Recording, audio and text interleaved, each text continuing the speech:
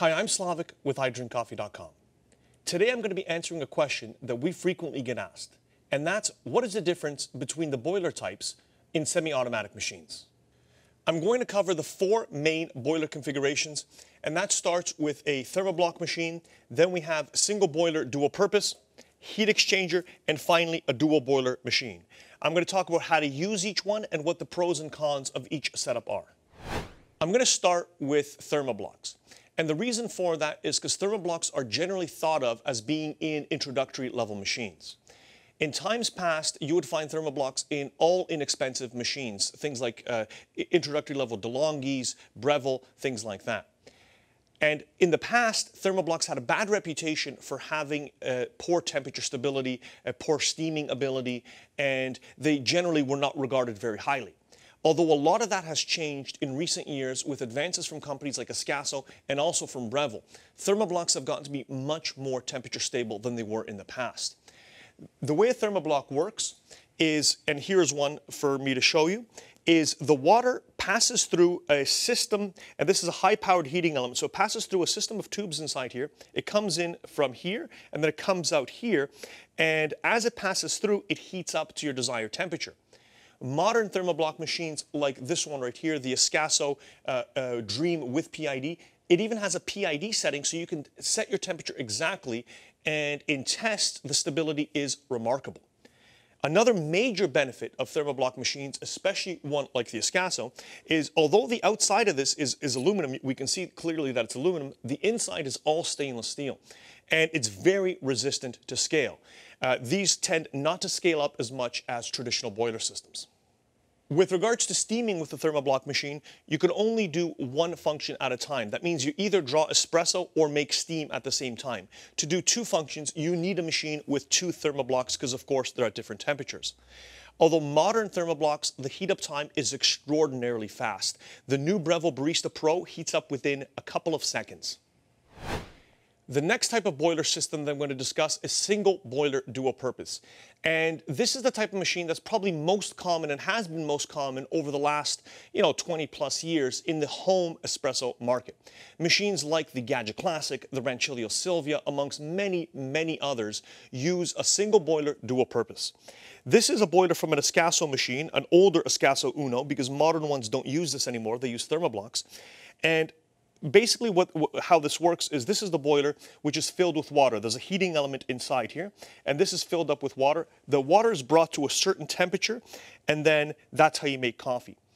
Most single boiler dual purpose machines are controlled using a I'm just going to set this down. They're controlled using a mechanical thermostat. A mechanical thermostat uh, uh, basically has a top limit. So once the water in the boiler reaches that temperature, it turns the heating element off. And then when it falls below a certain threshold, it turns it back on. Inherently, single boiler dual purpose machines have quite a bit of variance in temperature. So what people will do, or what companies will do, is they'll add PIDs to this to make that variance smaller. A PID is a digital thermostat that helps you achieve a certain temperature inside your boiler. I believe that single boiler dual purpose uh, setups are on their way out. I think a lot of these machines in the near future are going to be replaced with thermoblock systems because they're faster and they've gotten much better, like I mentioned before. For steaming with a single boiler machine, uh, of course, you can't steam and make espresso at the same time.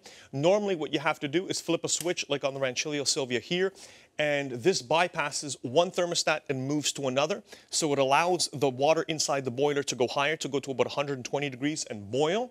You would then steam your milk and then turn the steam off, bring it back down to espresso temperature to make your coffee. So it is a two-step process with a single boiler machine. Next, we move on to heat exchangers. Heat exchangers are probably the most common setup for prosumer or higher end uh, consumer grade machines and also the most common setup for commercial machines as well. The way a heat exchanger works is like this. This is a heat exchanger boiler that's uh, very common in lots of different machines. And this is from a home machine, of course, because of its size. The boiler is filled about three quarters of the way with water. So the water comes up to about this level. That water is brought to a boil and it's controlled using either a pressure stat, which is the most common thing, and a pressure stat turns the heating element off and on based on the pressure inside the boiler, not the temperature. It's usually set at about one bar, which is one atmosphere. Or newer heat exchanger machines have PID control for the boiler as well. So the boiler is filled three quarters of the way with water. That water is boiling. So when I want to steam, I just open a valve. Like on this machine, I would just open this valve and steam would come out because uh, I open the valve and the steam is there. It just comes out so I can froth my milk. And when I want to make a shot of espresso, it pulls water from the cold water reservoir. The pump comes on, and the cold water comes either from your reservoir or from the water main if it's a plumbed in machine. And it passes through a heat exchanger. The heat exchanger is just right here. It passes through the bottom and comes out of the top. And the diameter and the distance of this heat exchanger has been precisely calculated to yield a certain temperature at the boiler.